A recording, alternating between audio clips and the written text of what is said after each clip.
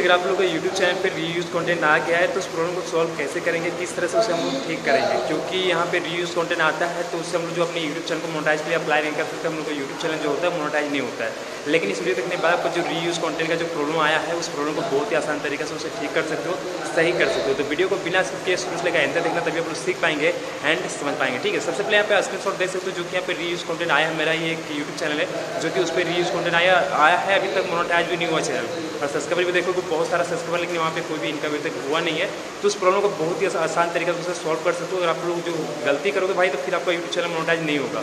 तो reuse content फिर से आ जाएगा। तो कोशिश करना भाई वीडियो को पूरा वॉच करना, तभी आप लोग सीख पाएँगे, समझ पाएँगे कैसे जो है रीयूज कॉन्टेंट प्रॉब्लम को सॉल्व करेंगे, कैसे उसे हम लोग सही करेंगे, ठीक है?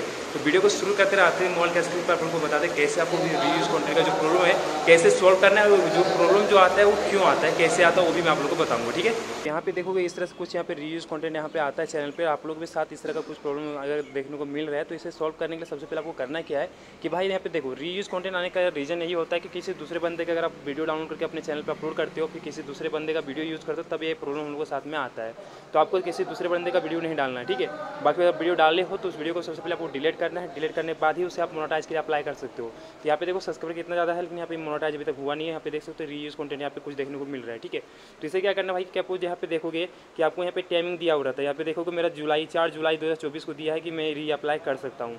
लेकिन यहाँ पे री अप्लाई करने से पहले यहाँ पे देखना आपको कि जो जो वीडियो मैंने किसी दूसरे का जो डाला है, उस वीडियो का वो सबसे पहले डिलीट कर देना है, ठीक है? डिलीट करोगे तभी आपका यूट्यूब चैनल फिर से मोनोटाइज के लिए अप्लाई कर सकते हो और फिर भी आपका यूट्यूब चैनल मोनोटाइज होगा। अदरवाइज़ आपका यूट्यूब चैनल मोनोटाइज नहीं होगा, ठीक है? तो कोशिश करना जो भी रीयूज कॉन्टेंट वाला वीडियो डाले हो, उस वीडियो को डिलीट कर देना, उसके बाद ही री अप्लाई करने के लिए कोशिश करना री अप्लाई करना, ठीक है? तो यहाँ पे देखो वीडियो डिलीट करना, सारा कुछ कर लेना, उसके बाद यहाँ पे देखोगे आपका जब टाइमिंग पूरा हो जाएगा, चार जुलाई दिया तो पाँच तारीख को अप्लाई कर सकते हो। तो यहाँ पे देखोगे री अप्लाई करके यहाँ पे ब्लू लाइनिंग दिखेगा पे क्लिक करोगे तो क्लिक हो जाएगा।